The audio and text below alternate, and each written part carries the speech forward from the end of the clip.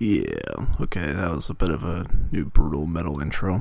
But anyways, uh, today we're going to look at Iron Brigade. Yes, we are, uh, pointing at me here. We're looking at Iron Brigade, which was recently released for free for gold members on Xbox Live. And this video is dealing with the Razputin achievement, uh, mainly the scrap and emplacement kills needed to earn the outfits that are necessary to earn the achievement uh, request of John Bleach on X360A. So as we see here, I've got the uh, the chassis, which uh, will allow me to get cheaper fort or fortifications. This isn't horde emplacements. Normally they're 50 scrap each for the ones I'm using, which are the massive machine gun turret.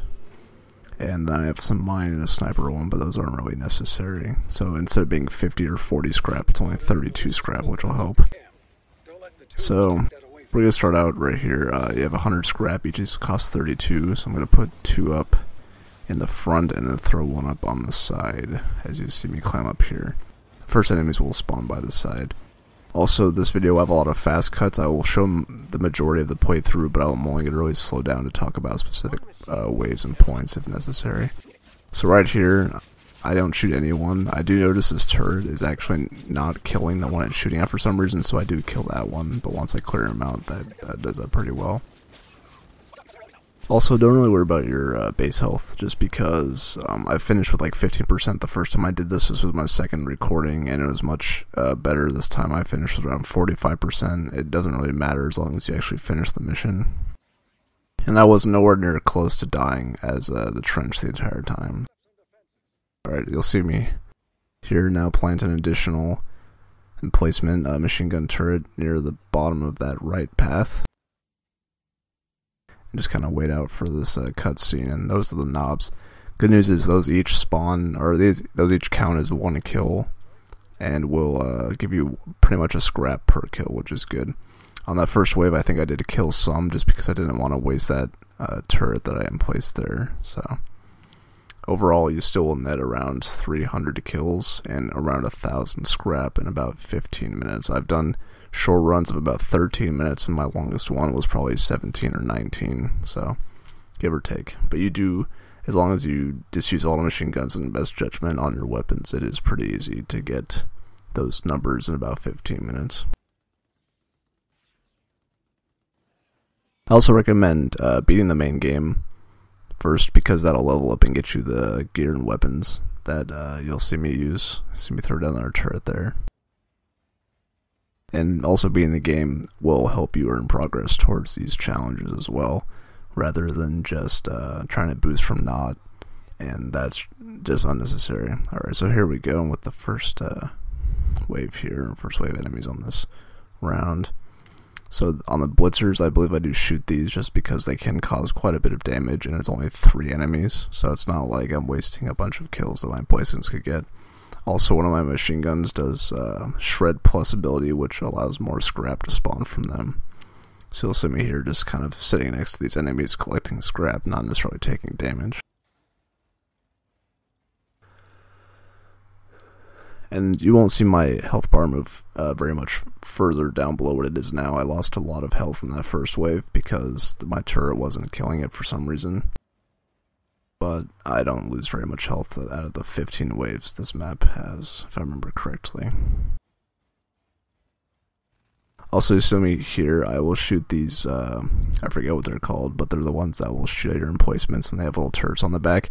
I shoot them because they can quite uh, they can cause quite a bit of a mess uh, with your emplacements in your base if you don't take care of them. So it's only about three or four kills maybe. So it's it's less pain just to kill them instead of trying to get the kills with the turrets.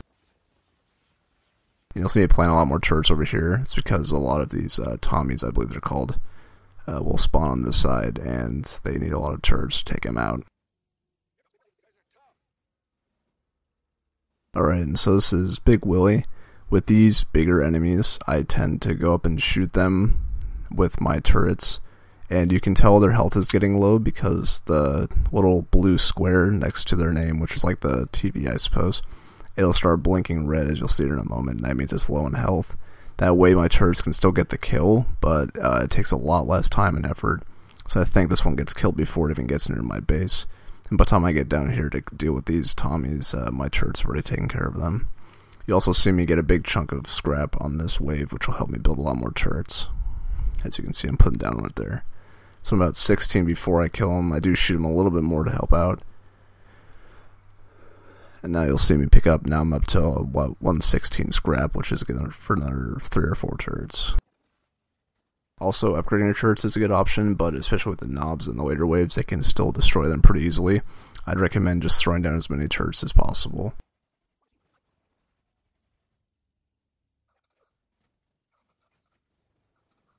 Just fast forwarding through some more simple basic enemies here. And so yeah, the knobs, uh, the machine gun turrets will take them out pretty fast. If you see a bunch of them heading towards one of your emplacements, I'd recommend shooting them just because you don't want to have to waste the uh, emplacement.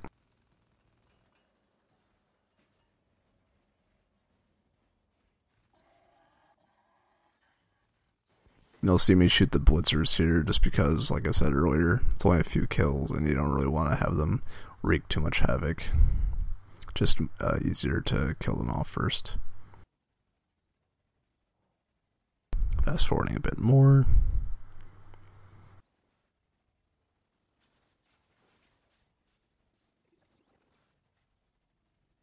And uh, like I said, uh, it takes about 15, so around 13 to 17 minutes on average, so about 15 minutes per game on average to get around 1,000 scrap and 300 emplacement kills.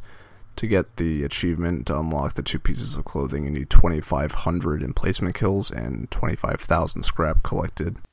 So, assuming you start from scratch, if you do this roughly eight or nine times, that should net you the 2,500 emplacement kills. Uh, you'll have to do it less times, assuming you've actually beaten levels before. And that'll also net you around uh, eight or nine thousand scrap, maybe a little less, because I do I usually get just under a thousand scrap per run through on this. Um, and there's another method to farm scrap against Farnsworth, which I should have a video uploaded uh, soon. Otherwise, this is still a good method uh, while you're doing emplacement kills.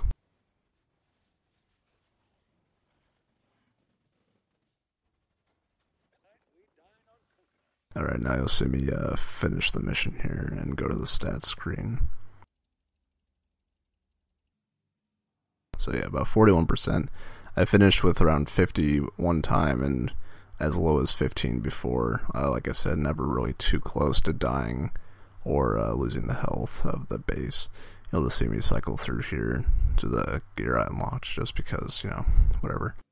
Also, I do have the DLC, so I'm a level 12. However, if you hit the level cap of 10, which is fairly easy to do, you'll have most of these weapons. So you'll see here uh, 26 weaponized kills. I still managed 321 emplacement kills, uh, just around 40 under a thousand of scrap collected. And so, uh, thanks for watching, guys, and I'll see you later.